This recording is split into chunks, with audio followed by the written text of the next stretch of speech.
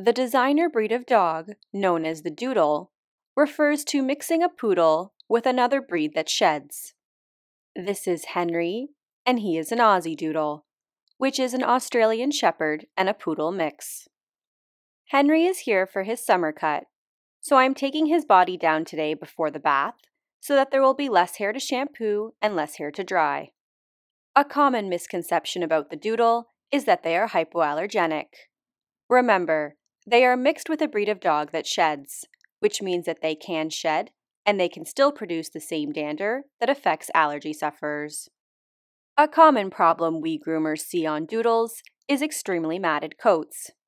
Henri was in pretty good shape today, despite a few mats on his legs and paws. Mixing two completely different coat types, one that sheds and one that does not, makes for a very difficult coat to maintain. They require very thorough daily brushing, which can be a challenge for today's busy families. So remember, if somebody in your household is allergic to dogs, or you do not have the time to dedicate to daily brushing, you may want to consider the standard poodle. Believe it or not, the standard poodle can still have the same teddy bear cut that we are used to seeing on doodles. They do not shed, and their coat is much easier to maintain. While doodles like Henri are wonderful dogs, I find that most people are not informed of this very important information before getting one.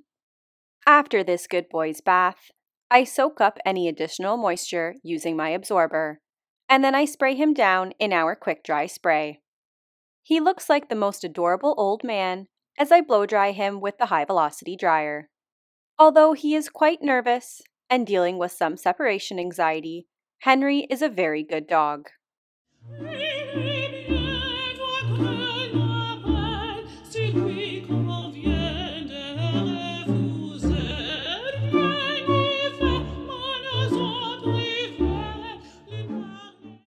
After his majestic blow dry, I smooth over his haircut using my 3 and 3 quarter blade.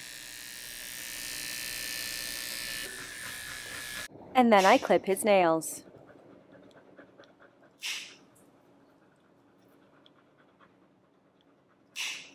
I shave out his paw pads.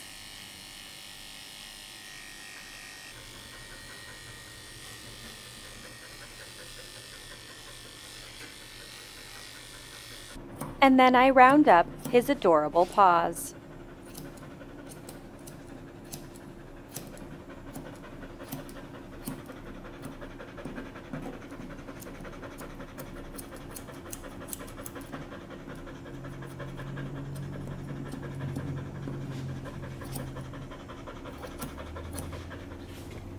I'm taking the top of his head down in my 7 8 inch attachment comb, and then I tidy up the hairs that go inside his mouth.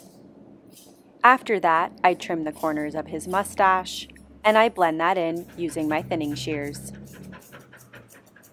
I shorten up his fantastic tail, and then using my Opawz paint pens, I'm giving him some temporary yellow color on the tip of his tail. I spray him down in our Jelly Bean cologne and Henri is all finished. As a very generous thank you, he destroys my backyard. Thank you so much for watching. I hope you enjoyed The Handsome Henri.